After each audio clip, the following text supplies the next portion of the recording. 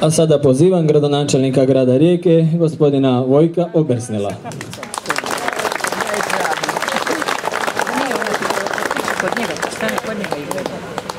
Drugarice i drugovi, gospođe i gospodo, evo drago mi je da opet mogu biti s vama na našem legendarnom Tuhobiću. Pozdraviti vas u ime grada Rijeke i moje osobno ime i naravno prije svega čestitat dan antifašističke borbe. Važno je govoriti o antifašizmu uvijek, a ne samo na dan antifašističke borbe. Čuli smo, evo već iz ovih nekih uvodnih izlaganja, što se sve dešavalo.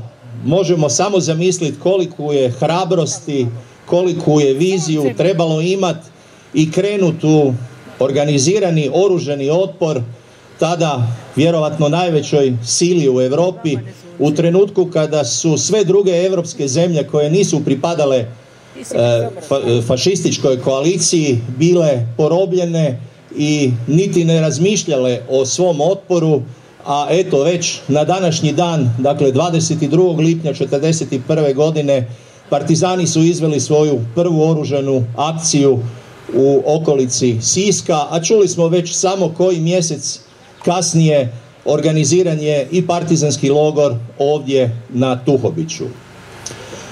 Poručuju nam neki da antifašizam moramo jasno razdvojiti od komunizma i da to nije isto.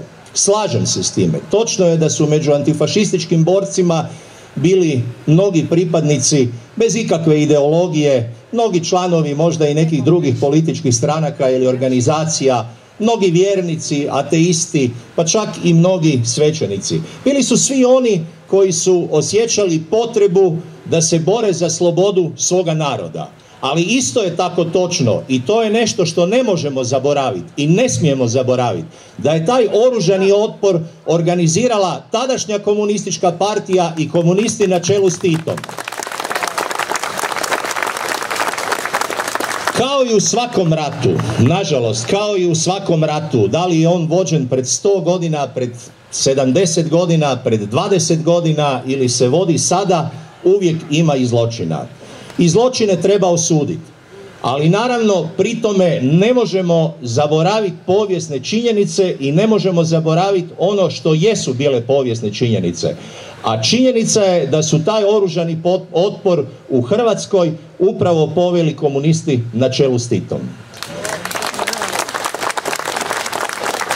Dok je Hrvatska, a jednako tako i ostatak Jugoslavije, raskomadan između koje kakvih kvislinških e, organizacija ili pojedinaca koje su surađivale sa Njemcima ili sa Talijanima, dok je tadašnje vodstvo pobjeglo u sigurnu Englesku, odnosno London, ovdje su ostali ljudi koji se nisu mirili sa takvom situacijom. Ne samo da se nisu mirili sa takvom situacijom, organizirali su oružani otpor, ali su imali ideju stvaranje slobodne, neovisne Hrvatske.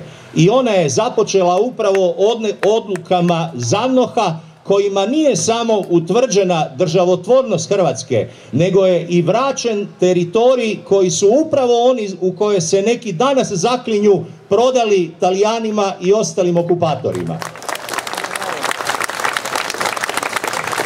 Koliko je taj pokret bio jak, govori najbolje činjenica da je u završnim operacijama drugog svjetskog rata jedino narodno oslobodilačka vojska na čelu s Titom dobila mogućnost i zadaću da sa ostalim velikim silama antifašističke koalicije samostalno drži dio fronta u završnim operacijama od Mađarske do Italije. Tu nije bilo ni Rusa, ni Engleza, ni Amerikanaca. Tu zadaću je dobila Narodno slobodilačka vojska i sa svoje četiri armije uspješno ju i odradila.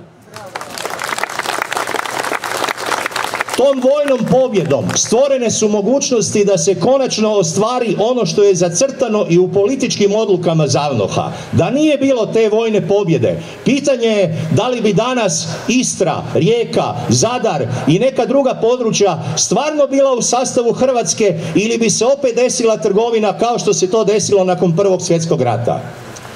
I to su činjenice koje ne smijemo zaboraviti. I zato trebamo govoriti o antifašizmu. Trebamo govoriti o činjenici koja je u Hrvatskoj apsolutno prešučena. Prošle godine je u Francuskoj obilježena 70 obljetnica iskrcavanja u Normandiji na kojoj su bili prisutni vođe svih država antifašističke koalicije. Uz e, proslavu prikazivani su prikazivane su slike iz tog razdoblja. Uz slike Roosevelta, Trumana, Churchilla, našla se i slika maršala Tita, čovjeka kojeg se danas mnogi hoće odreći. Ne negiram da i u njegovom djelovanju možda nije bilo sve kako treba, a ko je u ostalom od nas nepogrešiv. Prema tome, e, ima sigurno svako u svom djelovanju grešaka, ali moramo vrednovati ono što je dobro od eventualno onoga što je loše.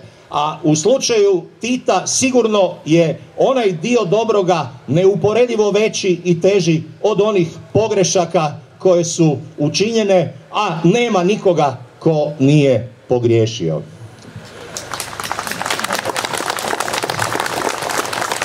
Osim što je naravno potrebno sa pijetetom prisjetiti se žrtava mladih ljudi i ne samo mladih ljudi koji su se u tom mraku kada je cijela Europa bila porobljena e, odlučili e, usprotiviti toj velikoj, velikoj nacističkoj sili, dakle uz pijetet prema njima i njihovim žrtvama jednako tako ne smijemo nikada zaboraviti niti žrtve boraca domovinskog rata koji su jednako tako krenuli u obranu Republike Hrvatske, a eto za koji dan imat ćemo priliku svečano proslaviti i dan neovisnosti Republike Hrvatske, odnosno dan državnosti Republike Hrvatske, koju isto tako ne bi slavili da nije bilo onih koji su krenuli u obrambeni oslobodilački rat od jednako tako nerazumnih ideja i e, suludih politika koje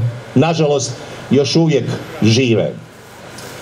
No ono što nas svih vjerovatno brine je činjenica da ideje fašizma nisu mrtve. One se svako toliko javljaju. Javljaju se u različitim govoram, govorima, javljaju se u različitim inicijativama, pa recimo u inicijativi o lustraciji. Misle da će nas zaplašiti lustracijom. Ja mogu postaviti pitanje, a ko će provesti lustraciju za sav lopovluk koji se desio u Hrvatskoj i sve ono što je Hrvatska prepatila e, pogrešnim modelom privatizacije i e, omogućila pojedincima enormno bogaćenje? Ko će provesti lustraciju nad onima koji su uništili na tisuće spomenika upravo tim mladim ljudima koji su svoje živote dali boreći se protiv fašizma i nacizma u tada porobljenoj, porobljenoj Europi. Ako misle da će nas zastrašiti s tim pričama, ne, neće. I zato slažem se da nam treba zajedništvo. A ja nemam ništa zajedno sa takvima, a vjerujem da nemate ni vi.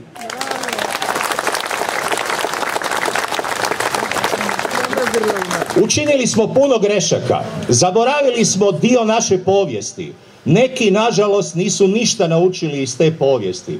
I danas, tvrdeći da je upravo nezavisna država Hrvatska bila izvor hrvatske državnosti. Dakle, država koja je prodala dio svog teritorija Talijanima, država koja je podržavala nacistički pokret čak i nakon Hitlerove smrti.